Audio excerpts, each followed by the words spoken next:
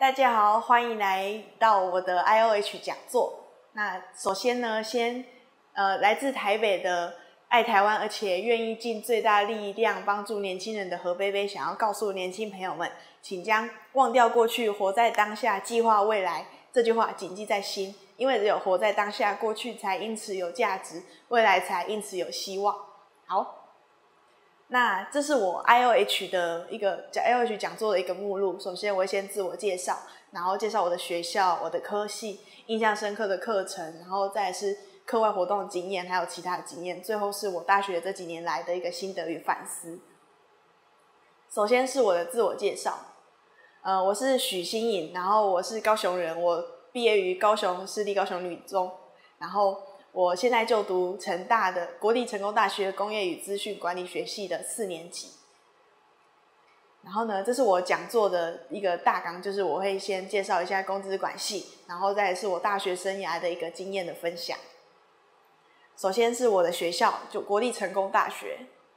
成大是一个呃科系非常非常多元的学校，呃是全国规模第二大的综合性大学。目前有三呃四十几个系，然后三十几个所，嗯，因为就是科系非常多元的原因，我觉得是成大一个非常大的优点。因为在这里，我可以认识很多不同科系的人、不同领域的人，大家的想法或思维会非常的不一样。那我今天如果可能一直待在我的学院里面的话，大家可能想法想事情都是用同一种方法，或是大家所知道的事情都一样。但因为我今天跑了活动，认识外系的人，我可以呃了解非常多不同的事情。那呃，不同的想法思维会有一个交流跟冲击。那资源丰富，我觉得也是成大的一个优点。虽然大家都说南北资源就是有一个差距，但是我觉得成大的资源对我来说已经非常非常的丰富了。那其实我有很多朋友都说很羡慕我们成大有很多呃讲讲座啊，然后交流啊，呃交换的一些机会。那我觉得资源丰不丰富，重点是我们懂不懂得去抓住这些资源。那如果资源再丰富，自己不懂得运用也没有用，所以呃，还是等着我们自己去抓住这些丰厚的资源。接下来是我的科系，就是工业与资讯管理学系。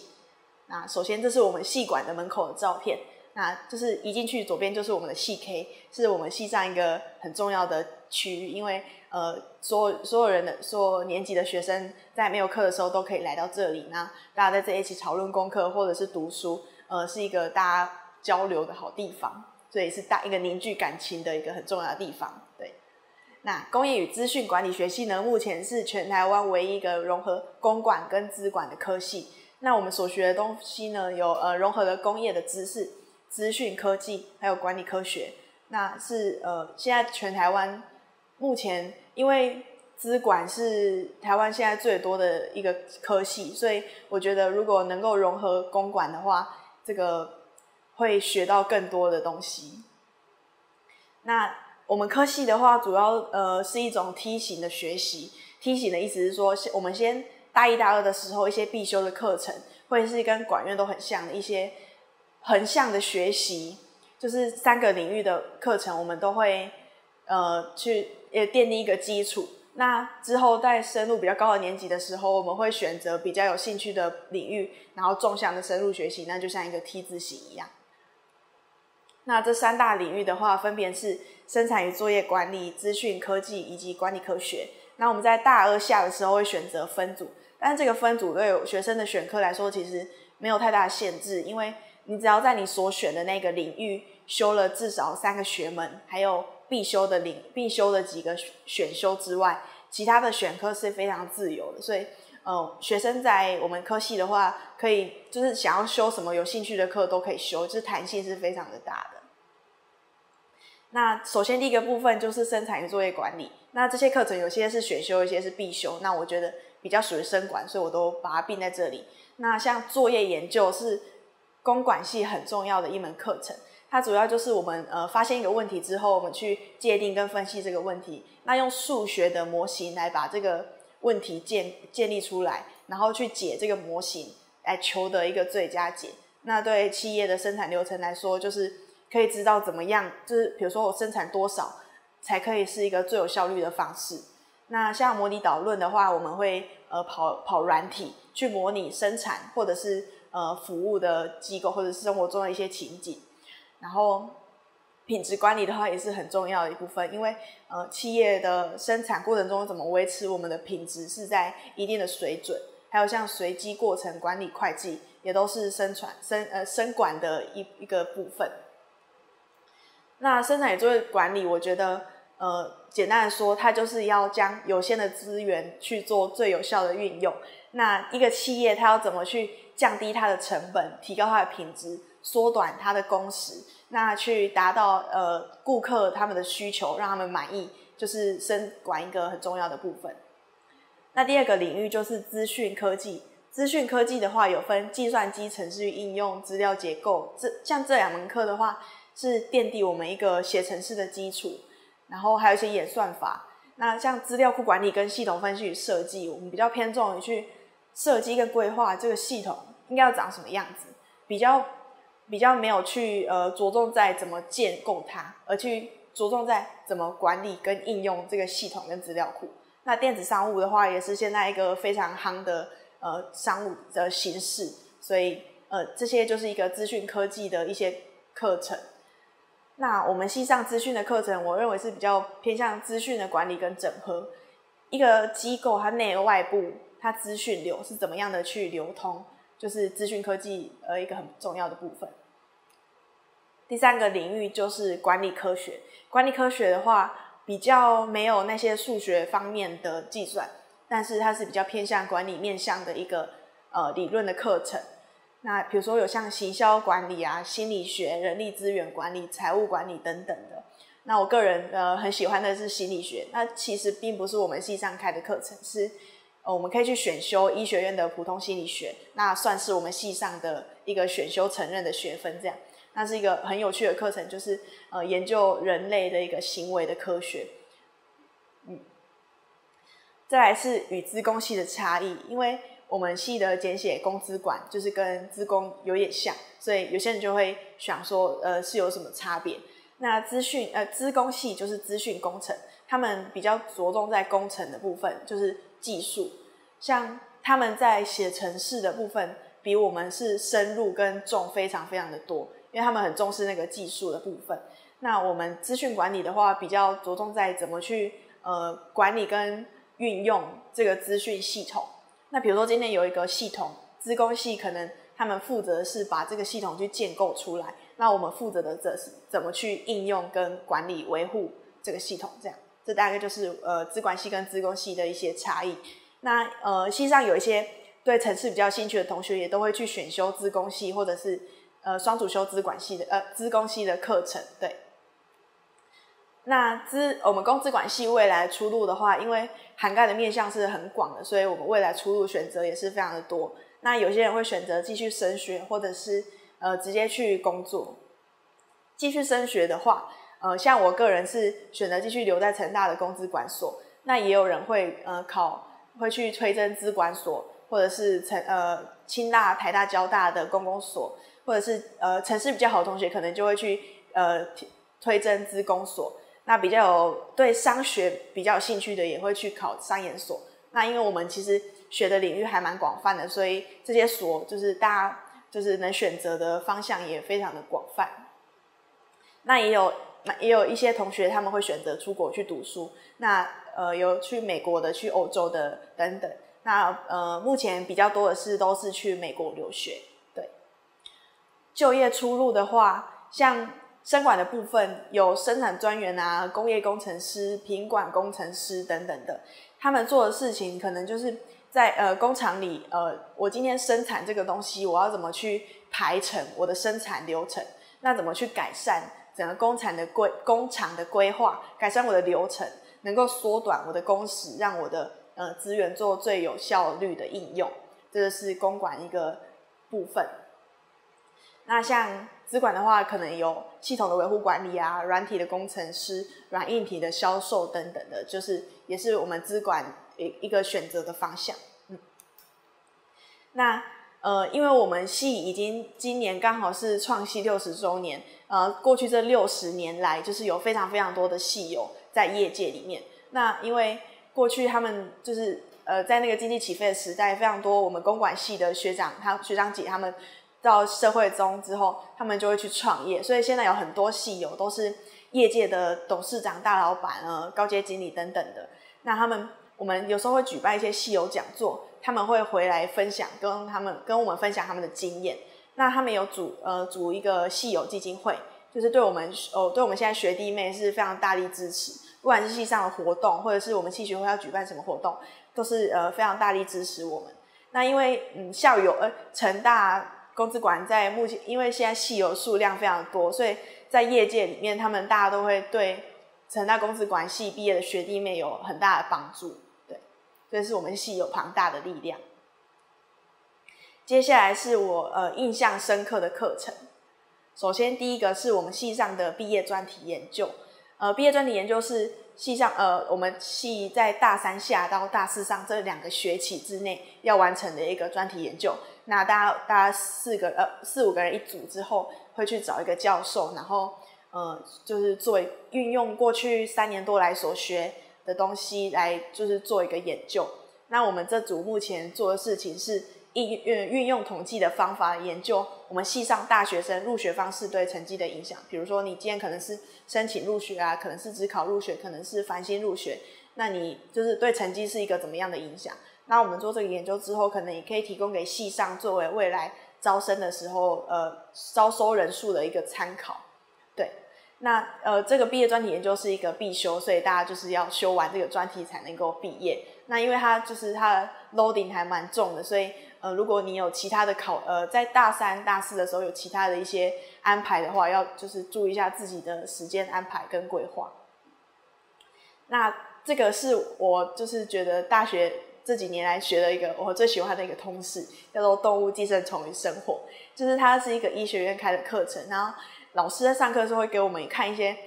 很就是很恶心，但是我觉得很好看的影片，然后也会介绍一些呃日常生活中的寄生虫，比如说我现在手上可能都是寄生虫，对，然后我觉得很有趣。那这里我觉得也是成大一个优点，因为因为有我们有医学院，然后有很多其他的学院，所以我们的通识也是非常非常的多样化的。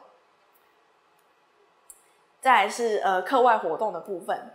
呃我个我大学这几年来就是呃大概有蛮多的时间都是在服务学习这块。那我个人认为服务是一个双向的交流，就是我们过去可能认为服务就是呃我给你好处这样子，但是其实不是，我给你真正的服务应该是呃我我可能给你一些帮我帮助你，然后但是我在服务的对象身上，我其实可以学到非常多的东西，所以是一个双向的交流。那我又参加一个服务学习计划，它是横跨两岸，我们跟中国南开大学的学生一起合作的一个服务学习计划，叫做“成功南开一加一服务学习计划”。那这个计划的话，他们就是南开大学的学生在暑假的时候会来到台湾，跟我们一起去台南预警的希望之家做服务。那在寒假的时候，换我们台湾的学生到大陆去跟他们一起做，呃，去大连儿童儿童村做一个服务。那这个活动的话，这个计划我觉得，呃，除了可以做到一些服务学习之外，还可以跟大陆的学生有一些交流。那我们两岸的学习教学方法的一些差异，造成我们想法上可能都不太一样，所以有一些很就是文化上的交流跟刺激，我觉得是很棒的。那这张照片就是我们在大了大连儿童村服务的时候。那呃，像我们去服务的这两个机构，他们的孩子都是一些背景比较特殊的孩子，在他们身上，我们其实呃听到或是看到了很多过去真的没有想过是不可能经历过的人生体验。那我觉得我们去与其说是服务他们，我们其实是去陪伴他们，就是带一些活动给他们这样子。那就是希望能够用我们一点点微薄的力量去呃带一些正向的力量给他们，让他们在未来人生中可以有一些。呃，建呃，可以有一些更多的正向的力量来支持着他们，那这就是我们跟孩子们一起去爬山的照片。那就是我们去服务的，呃，有就是有完全融入了他们生活，我们就跟着他们的起居作息。然后我觉得就是也体验了当地的风俗文化民情，觉得这个服务计划是一个呃非常值得参加的计划。如果大家以后有机会来到成大的话，可以去注意一下这个消息。这个是由服务学习中心就是举办的这样子。那服务学习中心呢，就是我呃，我接下来也有接了一些干部，就是我后来服务学习计划之后，我就进入中心当干部这样子。那我们这个中心呢，有举办一些活动，比如说像轮椅体验计划啊，或是跟其他服务性社团的交流，还有举办各式各样的讲座。那我们讲座其实也不局限在服务的这个区块，我觉得我们比较注重是呃社会上一些比较没有被别人关注到的事情。那我们希望透过举办讲座，让大家来关注到、注意到，算是在大家心中埋下一个小小的种子，这样，然后未来就是可能会更自发的是去注意到这些问题。那像这个就是我刚刚提到的轮椅体验计划。那我们在这个计划中的话，就是来报名参加的同学，我们都会给他一个轮椅。那他从从起床到睡觉一整天里面，他都要坐着这个轮椅去体验体验生长者的他一整天的生活。那我们平常我们知道生长朋友他们生活中有非常多的不便，但是没有亲亲身去体验过，其实很难真的去理解他们真的需要的是什么。那就是我们后来有请这些体验者回来我们一个工作坊来分享他们体验的心得跟感想，那就是让我们真的去知道他们的需求之后，可能我们今以后呃在路上看到身障朋友的时候，我们可以更主动去提供一些协助给他们。那这个就是我们跟台医大红豆社的一个交流。那台医大红豆社是一个服务性的社团，那我们服务学习中心呃会跟一些服务性社团交流。那去分享彼此做的一些服务，这样子，那看我们可以还有哪些方向可以去琢磨。那我个人在大学跑了七次的营队，那有成大的资管营、迎新宿营、大学生活体验营、联合概训营、IC Summer Camp 等等的。那首先，呃，这个是迎新宿营，就是我们系上还蛮特别的一点，就是我们几乎呃过去系系上每年来迎新宿营都是到垦丁去，对，这是大家也很蛮羡慕的一个地方。然后。呃，这是这是陈大资管营，从第十五届到十七届，我大一到大三总共参加了三届。就是大家可能会觉得说，同样一个营队为什么要参加那么多次？明明都是一样的东西。但是我觉得说，呃，虽然我今天参加这个营队参加了三次，但是我三次担任的是不同职位。我从组员担任到组组长，呃，就我们叫我们称为组头，那其实就是大家组长的意思。然后再来到副招，那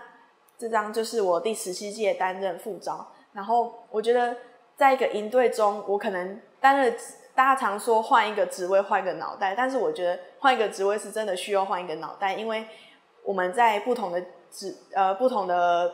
在不同的职位的时候，我们做的事情，我们看到的角度都是不一样的。今天我当组员的时候，我可能只需要呃把我的表演练好，把我的小事情做好。那当副招呃或者是总招这些高阶干部的时候，他们需要看到的是一些比较全面的事情。比如说，他需要顾虑到组员啊、组头，还有呃家长、学生、学校跟外界所有的事情，他需要去照顾到。那所以我觉得，在一个营队或是任何活动中，彼此的沟通是很重，彼此的沟通是很重要的。因为如果少了沟通，可能会不知道彼此在想什么。那有沟通，让大家就是想的事情都可以大家都知道的话，就是在这个活动才能够继续的很好的维持下去。对那这个是第三届大学生活体验营，是呃成大一个还蛮特别的活动，就是它呃它也是一个办给高中生的营队，那它涵盖了全全成大所有的科系，让大学呃让高中生来参加，可以去摸索他到底想要去参加什么科系。那这是我参加的第一个呃系外的呃营队，就是让我认识了很多系外的朋友，觉得交友圈瞬间开阔了许多。对，然后这个是 ISEC Summer Camp。这是 ISEC 呃这个社团他们办给呃国中生的一个暑假的英文营队，然后他们邀请了一些外国的志工来，就是一同参与，对，然后让我觉得呃有机会可以跟外国人做一个交流，对。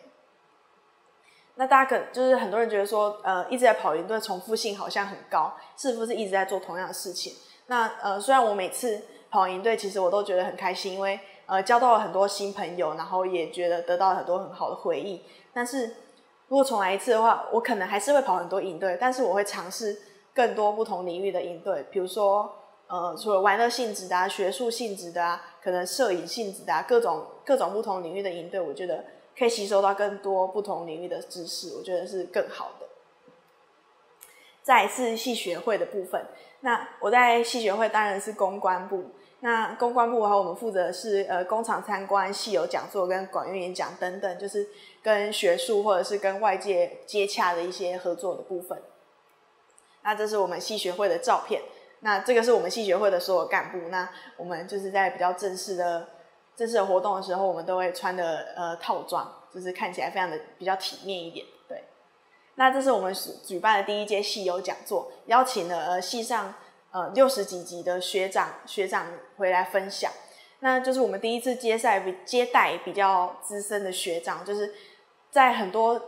呃呃接待他们的处事或者是整个活动的流程上面，都是一个还蛮大的新的挑战，所以呃，我觉得在公关股可以学到是怎么去跟外界接洽，怎样的呃沟通方式对双方是最好的这样子。那这是我们举办的一个管院演讲，就是管院五个系一起联合举办的一系列的演讲。那这场是郑匡宇先生带来的搭讪人脉倍增术，那现场人数是非常的爆满。再来是五系联合干训营，是我们系学会的呃干部们他们呃举办的一个干训营。那我在这之中是担任一个组员的角色。那在这个干训营之中，我就是是第一个参加比较思考性的营队。那我觉得。去思考了我在公关这部分，就是我做的一些事情，那做的一些意义。但我觉得我做的没有很好的部分，是我好像一直在重复着学长姐之前留下来的习惯，这样子一直做事，然后比较没有去呃发展一些新的事情。那我觉得公关的话，应该是要呃努力的去跟外界合作接洽，然后。去发展一个合作的关系，这样子，那就是我，所以我就跟学弟妹们说，就是这是我没有做好的部分，希望他们未来可以不要着一直照着学长姐的路走，就是开创自己的新的路，这样子。那接下来是我的其他的经验，啊，我今年暑假的话有去微软的实习，那是在 marketing and operation 的当一个暑期的实习生，不过因为我只呃我只当了一个暑假而已，这样对。那很幸运的是，刚好碰上了 Windows 10的上市记者会。那我们整个部门都是呃在忙着 Windows 10的宣传。那我觉得，因为我只做了两个月，所以我觉得是有一点短。做实习，不管是去哪里实习，我觉得可能再长一点，就是甚至到一年或者一年以上是更好的。因为我才刚开始，可能要熟悉这个地方，工作才刚开始比较上手之后，我就要离开了。那也因为我时间很短，主管能交给我做的事情其实是。很少的，所以我觉得实习的话能够待长一点，是那个收获是会比短时间还要倍增非常非常多的。那我在大学这期间也有打过一些工，像是我有呃当教授的行政助理，然后儿童美语补习班的辅导老师，还有呃成大博物馆的动画制作。那比较有趣的是呃动画制作，就是这个我帮呃成大博物馆做了一个 Flash 的动画，就是。呃，算就是我在接这个动打工之前，其实呃我完全不会做 Flash 动画。那我那时候觉得自己也是蛮有勇气，我想说呃可以边打工可以边学一个新的东西，也是蛮棒的。所以我就呃自己去就是跟跟我另外一个朋友一起摸索要怎么做 Flash 动画。那现在这个动画就是也有展在成大博物馆展出，我觉得是一个还蛮特别的经验。对。那预言生的部分就是我们系上有预言生的制度，那其实。呃，其他学校还有其他科系，有些学校有预言生的制度，那他们都称为五年一贯计划。就是我大四的时候我就开始当研究生，然后毕业一年之后就是当硕一，也就是我用五年的时间，我可以念完学士跟硕士这样子。那这个的申请方式的话，是在大三下的时候，呃，就可以提出申请。那你如果在前绩成绩在前百分之二十五趴。然后你论文啊，或者是其他专业竞赛有获奖，或是有其他优良的事迹，你就有这个资格可以去申请。所以就是呃，基本上大大家很多人都是用成绩前百分之二十五趴那个资格去申请的。所以如果呃未来有想要读研究所，想要呃省用预言生这个方式的话，就是成绩要记得要就是要维持在一定的水准。那预言生它是一个呃很省时又很省钱的方法。省钱的话是因为。呃，研究所都算学分费，你每多修一门课多一个学分，你就要多付钱。因此，我在大四的时候，我就把研究所的课都修完的话，我可以省很多钱，那也省了一年的时间。但是压力就是相对的很大，因为别人在两年要做完的事情，我们在可能一年或者是一年多，我们就要把它做完，就是压力会很大。所以，很多教授都告诉我们说，呃，当预言生心态要赶快调试好，不要再就是觉得自己是大学生了，要把自己当做研究生这样子。对。那最后是我大学这三年来就是经历了一些事情之后，我得到的一些心得跟反思。呃，如果可以重来，就是我觉得其实大学这三年，我我没有过得非常的满意，虽然还是过得很开心，得到很多收获，但是我觉得如果可以重来，我想要把这些我没有做好的事，可以再把它做得更好。那现在就是把这些建议可以提供给大家。第一个就是早点做好规划，因为我呃我一直都很想要去交换学生，但是但是我呃一直就是一事情一直拖延拖延，导致我没有办法。如期的在大学期间就去做完交换，我必须要在研究所再多花个一年的时间出去交换。那比如说我，因为交换学生需要做一些准备，而且要提早很多申请。那我比如说我今天大，我今天想要大四去交换，那我可能大三就要开始申请，大三开始申请，我大二就要开始准备考我的语言检定等等的。所以你早点做好规划，你每个年级想要完成哪些事情。那你必须要多早开始准备？我觉得提早准备绝对是有益无害的。再是培养一技之长，因为我们系呢，呃，有融挂了公管跟资管两个部分。虽然广泛学习是非常重要一件事情，但是要选到自己有兴趣的那一个部分，然后去深耕它。因为你如果什么都只学一点点，那就是其实等于是没学一样，因为你用不出来。所以，呃，在什么都呃学了很多之后，要找到自己最有兴趣的那个部分，去培养你的一技之长，我觉得是非常重要的部分。再是接触更多不同的人事物，因为我虽然大学是参加了一些活动，但是我觉得，嗯，没有非常的呃不同的领域，大大概都是很局限在我们系上，或者是呃很局限在同一个领域。那大学其实什么都有，什么人都有，什么事情都有，什么活动都有，就等着自己去发掘。什么活动有兴趣就去参加看看，也许就是发现自己不同的一片天空，有可能。那也可以认识很多不同不同领域的人。